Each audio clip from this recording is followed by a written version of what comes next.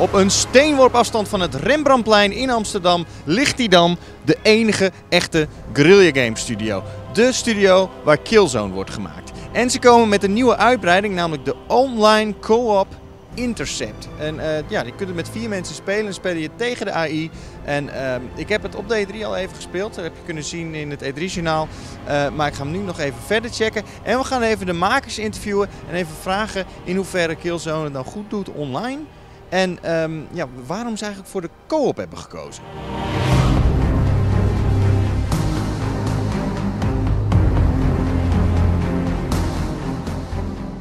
Wat zijn dan de uitdagingen als je zo'n online co-op uh, maakt?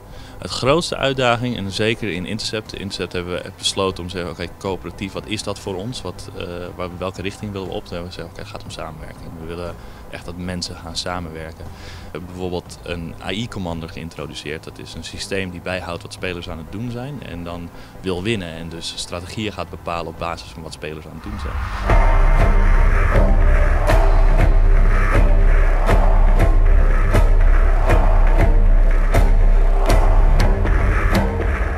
Killzone Shadowfall Intercept, dus de online koop versie. En uh, ik moet zeggen, ik vind het heel tof. Maar dat komt omdat ik een, uh, een koopliefhebber ben eigenlijk. Hè.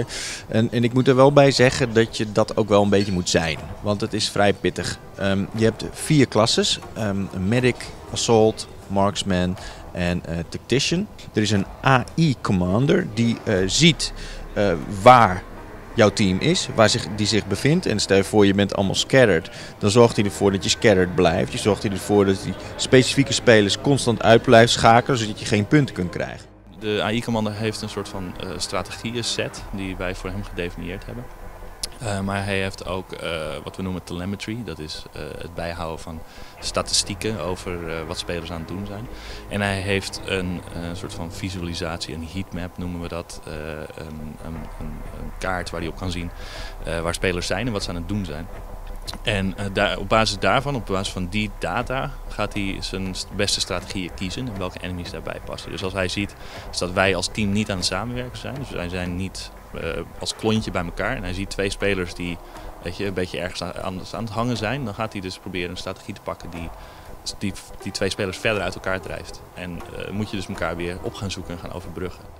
Dat vind ik heel erg vet aan deze modus. Want je ziet wel echt op het moment dat je niet samenwerkt en dat je maar gewoon een beetje als een lone wolf uh, aan het zwerven bent, dat je gewoon echt geen kans hebt. Je hebt sowieso geen kans. Ik denk dat dit een hele leuke co-op mode is. Heel erg pittig, maar als je er met een groepje van vier man even in kunt duiken, denk ik dat je heel veel plezier uit kan halen. 5 augustus komt hij ook standalone uit en, dan, uh, ja, en hij is er nu uit als, uh, als DLC.